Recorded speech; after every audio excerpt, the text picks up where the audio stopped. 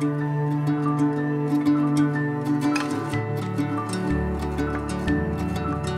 Hi everyone, Nick here from Hidden Valley Bushcraft and today I'm going to be talking to you about my most trusted bushcraft gear and the items in which I have used time and again and that always perform when I need them to. As you can tell guys, I'm down in our little cabin here in our woodland. We built this over lockdown. I've got a handful of items in front of me here. All of them have been incredibly useful to me over the years and have become have become trusted pieces of equipment that I'll go to time and again. I'd love to hear your comments, okay, as I go through each piece here. Let me know what you've been using this summer, if you've been out with the family, whether you've been out on expeditions on your own, adventuring, wherever you've been, let me know what you've used and what trusted items of kit, you know, you would put your name to. I'm gonna start with, okay, a decent cooking pot, because what we're talking about here is bushcraft.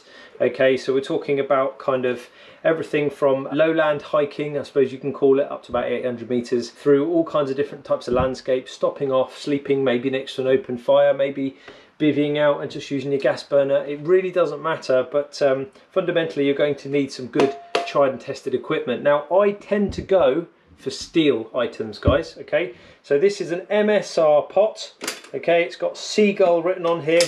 Um, it's a two-part, two-part construction in that the lid comes off okay and I've used this many times uh, as a plate for cooking on separately you know it's pretty sturdy pretty bomb-proof stuff and steel over titanium and over aluminium because of its strength uh, and the fact that it cooks things tend to cook a lot more evenly in steel yeah and just for pure sturdiness. You know if you tread on a titanium cup oh what a pain. That's your cup pretty much done.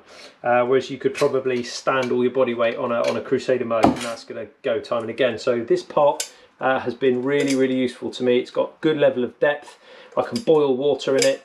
It's got a useful flip out handle okay so i can uh, I can keep my hands fairly free and out of out of reach of getting burned too badly. It's got this little uh, mechanism here which the lid slides over and enables me to shut the whole thing down nice and tightly. Okay, this is great because when I deploy or when I go out into the field, what I can do is I can pack this full of food items and I know that they're going to stay in here and I'm not going to open up and find that, you know, uh, water has ingressed into it or stuff's gone everywhere or rice has filled out into my bag.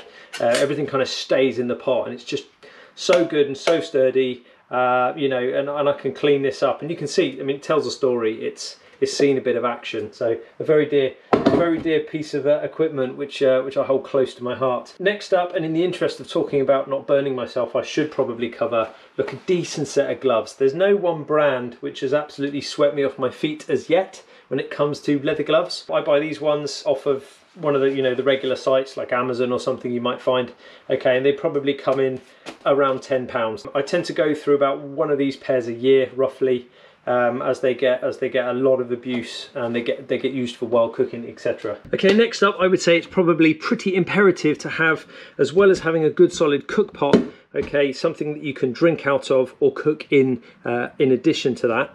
So um, a great combination okay and these two go very well together is the infamous Stanley nesting cup. Stanley have been creating these for a number of years now and when you buy them they normally come with two uh, hard plastic nesting cups. I don't tend to use those. Um, but it's got this lovely handle which you can pinch together to fold over and it can lock itself off. And with this sliding bar means you can suspend the thing over the fire as well. Very handy. Um, I just love the versatility of these items and the fact that you can interchangeably use them in, in a number of different scenarios. So they're, they're multi or multi-use which is handy. Um, then you've got the Nalgene bottle. Now this is the one with the tapered bottom okay not the squared off bottom and that fits rather perfectly inside. So one tends to nest inside of the other. Uh, again very very handy. Uh, again all stainless construction. This one holds three quarters of a litre so not quite the golden litre but um, but very good nonetheless I've put this to good use a number of times where I've just ended up suspending this over a fire and boiling water in it to make tea or whatever. Um, this is just a quick trick where you can you can loosen this plastic holder and, and the cordage comes off. So you can then put something like your fish spreaders inside or a toggle and you can suspend it over a campfire. Very versatile, very useful, okay? Tried and tested kit. Next up is the British Military Crusader mug. Now this one has seen a fair bit of action and taken a lot of punishment uh, and once every uh, blue moon I absolutely scrub this thing back to life. Good solid set of handles, all steel construction. You can get these in stainless as well. And then to go with that as an implement, I've gone for the uh, the old Sea to Summit titanium spoon. Sea Summit is another really good brand. It always tends to be slightly on the lighter weight scale of things, the things that they go on to produce, they're always very handy. I think as we're heading up the table, let's jump over here now onto, as I've just mentioned, another Sea to Summit item of equipment, the kitchen sink. So team, Sea to Summit kitchen sink is quite a formidable piece of equipment in itself. All I've done to enhance it uh, and its accessibility is I've put a small ring pull on here. Now I'm going to go ahead and open it up and let's all just pray that I can put it back together because yes these are notoriously quite difficult to get back into their package. As you can see here it's got a small loop which can, means it can fit on your belt. It's extremely lightweight um, but as I can testify having used it from everywhere from Afghanistan to Africa to Belize this is really brilliant piece of kit. You can see the drain hole in the bottom there okay because it's it's quite used to having to be put away wet um, and you can you can drain it off. Now when we actually look at this thing, what you've got here is a 10 litre floppy bucket, extremely sturdy. You've got this kind of off green colour on one side and then you can actually turn the whole thing inside out and use it this way round, okay, and hang this up from a tree full of water.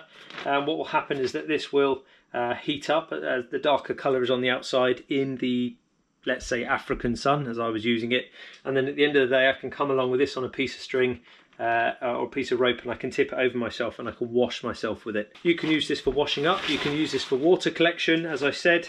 It does have an awful lot of possibilities. It's extremely sturdy and extremely well made. Now when it comes to putting the thing away you kind of have to do like a figure of eight and twist it back over on itself and then pack everything back inside there and you should have it, he says.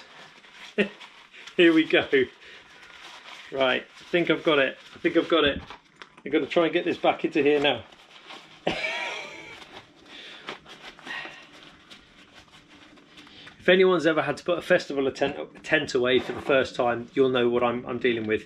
So anyway, so that's gone back in there, okay, and I've had a bit of practice, and that was still slightly tricky, but um, yeah, very manageable piece of equipment and uh, an overall very capable piece of equipment. This amazing Helikon EDC bag. Now, already this is uh, being used every single day here in the outdoors and all I've done in addition to that is I've just popped on a quick first aid kit because I've been using my chainsaw an awful lot recently so this is pretty much all orientated towards mass bleeding this one so all I've done is I've taken an Israeli bandage out of its packet out of its sleeve I've rewound it so that the pad the blood soaking pad is on the outermost all I have to do is remove the sleeve apply it and then start wrapping it around. So this is this is uh, uh, how to store an Israeli bandage in its sort of ready, good to go state, and that's uppermost. I've also got in here uh, pack of tissues, some Celox gauze, again for heavy hemostatic bleeding. There'll be a tourniquet in here. Okay, so there's a tourniquet in here, and there is some microporous tape. And that's pretty much all that's in that bag there because this is the one that generally uh, is anything to do with chainsaws, chainsaw bag. You might not have very long, chainsaws are pretty unforgiving, so having a uh, fast bleed trauma kit there is pretty essential, and all I've done is just weave that on there. It won't be on there for much longer, but it's just whilst I've got that work going on behind the scenes this week. But the actual bag is a Helikon EDC bag, and it's been very useful so far. I'm impressed with it. Okay, next item is going to be the axe. Now this axe is a Gränsfors Bruks small forest axe and for me by far the most versatile of the axes I have in our collection uh, here at Hidden Valley Bushcraft. You've got the length there to really be able to come down and split into firewood efficiently. As you can see here it's got its protective case on the front which I can just remove hopefully with a with one hand. There we go. From memory it's about a two pound head or a pound and three quarter head. And you can see the maker's mark in here. I tried to keep this pretty reasonably sharp and in good good condition. And you can see there it's held with a wedge. It's it's an every single day item uh, which fits uh, inside that bag really well. Next, I guess it's probably pretty imperative that we do actually mention some sort of uh, cutting or edge tools. Um, as we're on that kind of theme now, having just looked at the axe. So I tend to roll with a kind of a big knife, small knife combo, like many cultures around the world. And for me, I, as my everyday carry, I'm carrying this lovely little uh, Whittler knife. Okay, gets a lot of use. That's why it's not gleaming and shiny. Yes, it probably needs a bit of care. And, uh, and, a, and a very small ferro rod. Okay, so what I tend to do is place the uh, the knife back inside its sheath and there's just enough room to sneak this little ferro rod which stays in there under friction doesn't go anywhere and that lives in my pocket and that's always in my pocket. And my large knife option would generally be one of two as a kind of uh, a rough and ready option and one that I've used for a number of years. Uh, and again I would absolutely put my name to would be the Mosh, uh, the Mora Black. Okay this one uh, has seen a lot of action you can tell by just how worn down the actual blade is from where it's been sharpened again and again and again over the last couple of years. Very ergonomic rubberized grip uh, does not break the bank this one is in high carbon so it does need a lot more care hence it's already got some rust spots on here. So I'll need to uh, give this some attention as well. In fact I can I can sense a knife sharpening session coming on. Okay in a Kydex sheath. And all I've done to enhance that is I have put a uh, Swedish Light My Fire ferrocerium rod up on the inside. And then I've just held that in place with a bit of bicycle inner tube uh, and some uh, some cheap nylon cordage for lashing stuff together okay? These are great. I don't tend to be a big fan of these Kydex um, sheaths though as they do have a tendency for knives to be able to rattle and come out. Moving on obviously our very own HVB knife. Now the sheath this isn't the sheath that comes with this knife, this is just a working sheath. Now you can see from the scrapes and the uh, the abuse that this thing has had. This is the last ever working prototype in a U handle. They're all in uh, either oak or micarta handle now, and we've even got a finish on there, which is like a grey subdued finish, so there's less shine on the blade, and then you, you get that mirror polish finish as well as it comes out of the box. Brass rivets, brass lanyard tube, over accentuated pommel. It's got a number of uses. This is something else I carry every single day. Now inside the sheath itself, you've got a Fallkniven CD4. Okay, this is a, handy piece of equipment with that ceramic side on there and the aluminium oxide side on here as well. Together they sharpen a blade and bring up a mirror polish really well once you get that kind of weighed off, get the hang of it. And then I've got a Light My Fire well used ferrocerium rod on here as well. So got the ability to make fire and keep my knife nice and sharp. I'm pretty happy in the one-stop shop. Moving along again, that brings me to our toothed option, okay? That is the, not the silky, the Laplander. A lot of you might be screaming, well, it needs to be a silky gomboy, it's much better than the, than the Laplander, etc. Look guys, I've got 20 of these in stock because I teach with them every day and they're extremely forgiving for beginners, okay, because of that super mild steel. You really can abuse these. You can either bend them and then bend them straight again. Um, I'm not sure you'd want to do that or risk that with a Silky. I might buy myself a Silky at some point and, and do a whole video where I, I, I'll let you know my thoughts on that. For now, I can only speak for the Laplander, having used a Silky a handful of times. But I know these to be good, hard-working pieces of equipment, very light, extremely robust. Not going to break the bank for price at about 15, 20 pounds. Not sure what that is in dollars, let me know. And then a brightly coloured lanyard, so it's a little bit easier to find. They do make these in bright orange at last, thank God. Um, but when I bought them, I, I, didn't have an option at that time. We were still in the dark ages of the early uh, dark green colour. So really, really good piece of equipment and something that goes hand in hand with my knife and my saw. I know many of you have been quite interested in what I use for cordage, so I've bought some and left the packet on, so I've got a new one I'm about to break into.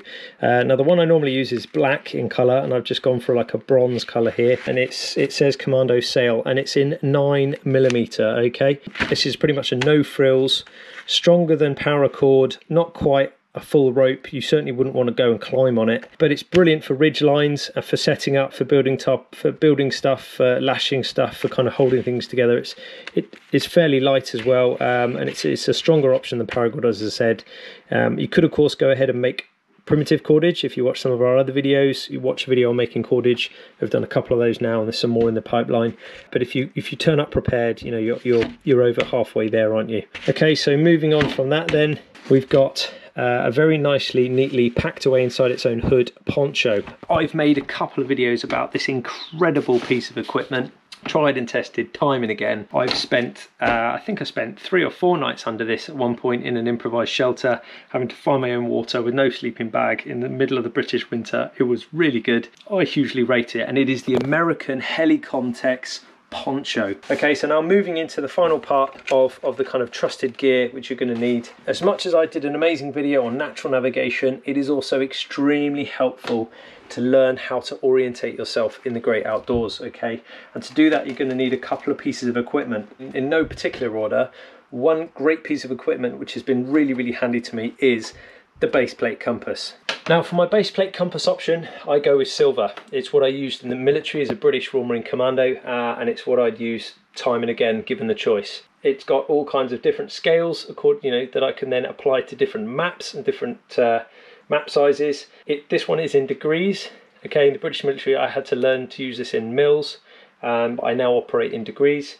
And then you can see on the lanyard here, um, there are some different scales running up my arm okay and these are so that I can measure out distance and I can kind of bend them round on the map and work out how far I'm going to have to walk on a leg and be a lot more accurate than just counting across grid squares. It is luminescent, okay, so this little piece here lights up as does the little piece here, okay, in the gate. So that lights up as well as that uh, direction of travel arrow and you can line these up in the middle of the dark uh, and they are extremely, extremely useful to go with my base plate compass uh, here in the Chew Valley where I operate, where I'm leading expeditions or little micro adventures, bushcraft style, from one camp, from this place here over to the other camp, we do roughly 25 kilometers uh, with clients on that particular trip. So I've got myself a custom made OS Explorer map okay, of the Chew Valley. And so these two go hand in hand. On a 1 in 25,000,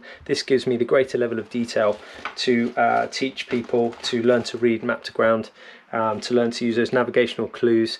But then we have the compass and the map as our kind of verification of learning, uh, which is really good. And then to house that, because the great British weather is atrocious at times, we have the Ortlieb bag. Now, I used an Ortlieb bag uh, in the Royal Marines. It's a kind of a, a Velcro roll top bag, okay?